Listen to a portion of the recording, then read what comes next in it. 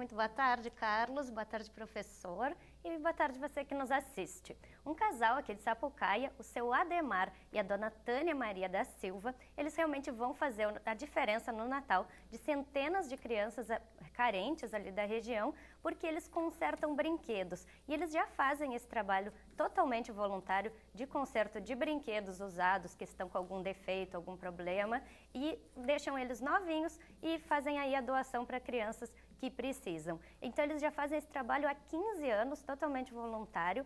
Ela começou costurando roupinhas para bonecas, ela gostava muito de costurar. Ela lava também o cabelo das bonecas com shampoo, deixa as bonecas totalmente novinhas para serem doadas aí para outras crianças. E o seu Ademar, ele conserta carrinhos, trabalha com circuitos elétricos de carrinhos com controle remoto e outros brinquedos eletrônicos também. Então eles vão fazer uma doação agora que vai, vai beneficiar a entidade, a associação uh, Unidos Venceremos, ali de Sapucaia do Sul, que vai fazer uma festa de Natal e vai beneficiar 600 crianças da região. São muitas crianças, né? E que eles desenvolveram esse trabalho ao longo do ano todo. Então, arrecadaram brinquedos, receberam da vizinhança as doações, receberam peças para o conserto desses brinquedos e aí, com certeza, vão fazer a alegria nesse Natal. A festa vai acontecer nesse sábado, com a presença do Papai Noel, diversas brincadeiras, os brinquedos vão ser distribuídos, vai ter bolo, vai ter, vai ter festa, então vai ser um dia bem descontraído.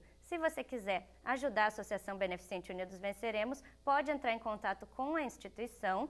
Se quiser ajudar já para esse sábado, eles estão recebendo aí auxílio com alimentação, refrigerante, tudo isso que vai ser distribuído na festa, mas eles recebem também brinquedos, roupas e sapatos durante o ano todo e distribuem a quem precisa. Então a associação fica ali na, na, no bairro 7, em Sapucaia do Sul. O endereço completo vai estar no nosso Facebook e no nosso vídeo também está aparecendo. Então fica aí a sugestão, acho que é um bom exemplo para esse final de ano, né, Carlos? Bom exemplo de cidadania e para poder ajudar também, né, Mariana? Com certeza, esse casal aí fazendo a diferença aí. Mais de 600 crianças sendo beneficiadas.